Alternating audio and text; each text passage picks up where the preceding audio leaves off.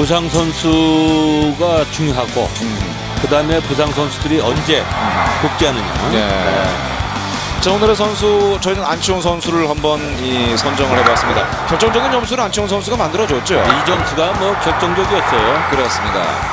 이게 번트 실패 이후에 나온 적시타거든요. 아, 예, 예. 1, 2루 상황에서 번트 실패로 2루 주자가 3루에서 태그 아웃 당하고 난 다음이었기 때문에 음. 여기서 만약에 달아나지 못했으면 오늘 좀 기아가 힘들었어요. 그렇습니다. 예. 자 오늘 기아가 승리하는데 발판이 되는 점수를 만들어준 선수 바로 오늘의 선수 안치홍 선수가 되겠습니다. 에, 말씀을 드린 것처럼 에, 안치홍 선수도 이 국가대표라 WBC에 대한 욕심 에, 그런 것들이 분명히 있을 텐데 아 그리고 또뭐 네. 충분히 자격이 있는 선수죠. 자격이 충분히 있고요. 네. 글쎄 안치홍 선수는 생각이 어떨지도 한번 궁금하기도 하고요. 자 오늘의 선수 안치홍 선수와 얘기를 나눠보도록 하겠습니다. 윤태진 아나운서입니다. 네, 오늘 멋진 적시타를 보여줬습니다. 기아 타이거즈의 안치홍 선수 만나보겠습니다.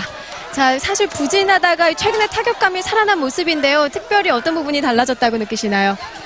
어, 초- 시즌 초반보다 중간에 이제 안 좋았을 때는 제가 hitting point를 많이 왔다 갔다 해서 제가 저만의 이제 hitting point를 찾지 못했었는데 그 부분이 아무래도 계속 이제 시합 때 하다 보니까 조금씩 돌아오는 것 같습니다. 네, 특별히 훈련한 부분은 있었나요? 어, 특별하게 훈련하기보다는 제가 약간 뒤에서 맞는 경향이 많았는데 그 부분을 고치려고 이제 배팅 때부터 앞에서 치는 것을 계속 했는데 그 부분이 이제 조금씩 시합 때 잘 나오고 있는 것 같습니다. 네, 기아 타이거즈 오늘 이첫 5할 승률을 넘어섰습니다. 이 전체적으로 선수들 좀 삭발을 했었거든요. 특별히 그런 부분에 힘을 얻는 부분이 있었나요?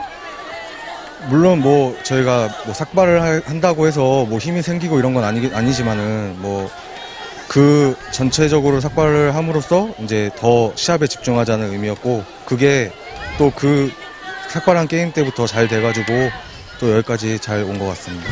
네, 이 안치홍 선수의 말처럼 정말 마음을 다잡을 수 있는 계기가 된 것 같은데요. 이 개인적으로 상대하기 까다로운 투수가 있나요? 어, 특별하게 까다로운 투수는 딱 정해놓진 않았는데 일단 어 이거도 다 말해야 되나요? 편하게 말씀하시면 될 것 같습니다. 어, 이거 말하면은 이제 그 투수만 올라올 거 아니에요. 그렇기 때문에 이거는 놓고 네, 알겠습니다. 자, 이 남은 경기 참 기아 타이거즈에게 중요하거든요. 안치홍 선수 개인적으로 좀 욕심나는 부분이나 목표가 있, 있나요? 일단 제가 초반에 많이 페이스가 떨어졌었기 때문에 일단 그 부분을 찾는 게 가장 큰 목표고요. 또 올해 오늘 또 5할을 넘어선 만큼 팀이 5할을 넘어선 만큼 또 승, 순위도 앞으로 계속 올려가지고 가을에 이제 또 멋진 야구 하는 게 또 하나의 목표입니다. 네, 앞으로도 멋진 모습 보여주시고요. 마지막으로 안치홍 선수의 사인을 받도록 하겠습니다. 네, 안치홍 선수의 사인은요, KBSN 아나운서 블로그에서 직접 확인하시고 다운로드도 받으실 수 있습니다.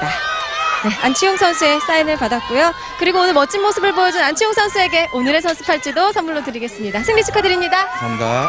안치홍 선수 만나봤습니다.